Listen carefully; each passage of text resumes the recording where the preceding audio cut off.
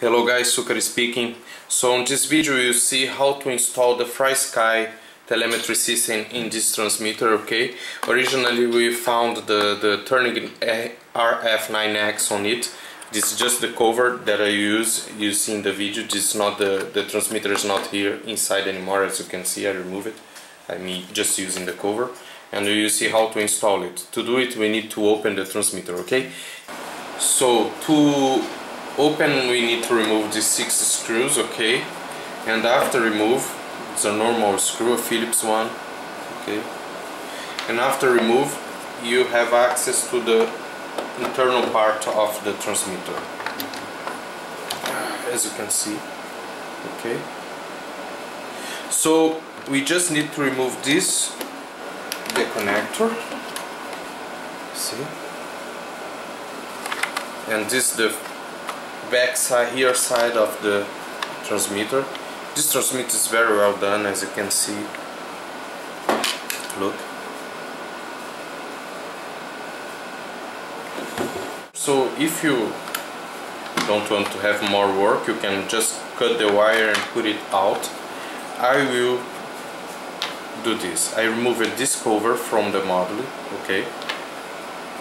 Two screws here as you can see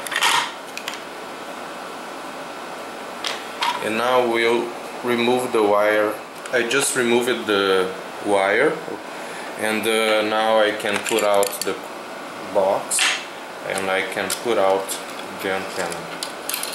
Okay? Easy busy so guys this is my final solution. I'll show assembled but I took the cover of the old model okay? I put it because they don't provide a cover with the telemetry system so I put it here. I connected the wires the, as in the instructions okay? PPM positive and ground. Is there PPM positive and ground. I will put this. I took the cover. I passed the wire through the bind button hole. I will close it this and I put the wire inside the hole okay?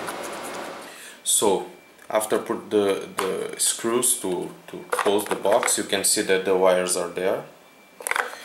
I can remove this anywhere anytime I want. It's just to hold the the, the wire of the model inside and organize it and is installed okay? So this was very simple I, I decided to use this arm because this piece can't hold the model because this part doesn't have enough surface to hold. So I decided to use the arm on this transmitter but in another transmitter made this the best option. And uh, that's it. it was very simple fast and uh, that's it. So I hope you like it. Thumbs up if you like and thumbs down if you didn't if you have some doubt you can ask in the video and I can answer you and uh, to clarify your doubts. See you, bye.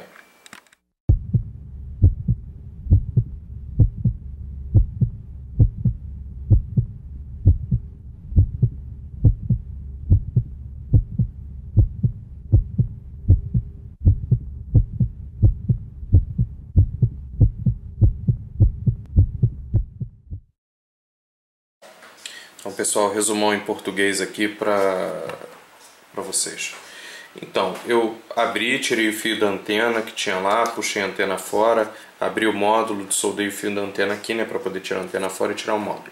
Usei a caixa do módulo para segurar o fio dentro, como vocês podem ver aqui.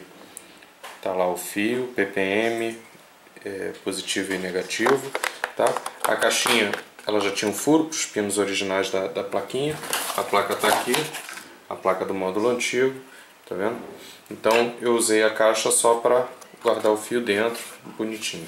É, usei esse braço aqui, veio essa peça aqui para prender também, é uma peça menor que fica aqui, desculpa. E ela pode ficar presa aqui no, no tubo da antena, esse tubo está preso no corpo, mas ele é muito largo, ela não abre o suficiente e aqui em cima não tem espaço suficiente para prender então não é uma boa solução usar isso nesse transmissor. Tá? Então dessa forma usei esse braço aqui, é um braço bem simples de montar, quatro parafusos, aqui é tudo encaixado e o módulo fica lá é, funcionando super bem enquanto você está pilotando o seu modelo, tá bom? Então é isso, passei o fio aqui, o fio está lá, vou usar alguma presilha para prender o fio aqui, não ficar assim tão pendurado, mas acho que foi uma solução boa. Tem gente que solda esse fio lá dentro da placa, eu não fiz isso porque depois se você não quiser mais usar o módulo, você vai ter que tirar o fio com ferro de solda e isso é, uma, é muito permanente para o meu gosto. Se você for soldar, se você quiser isso, você pode passar o fio por esse fio, do buraco aqui da antena, Tá vendo? Ele dá acesso lá dentro ao transmissor. Você pode jogar o fio aqui dentro e aí é, soldar ele direto na placa, na posição que ele está aqui nos pinos.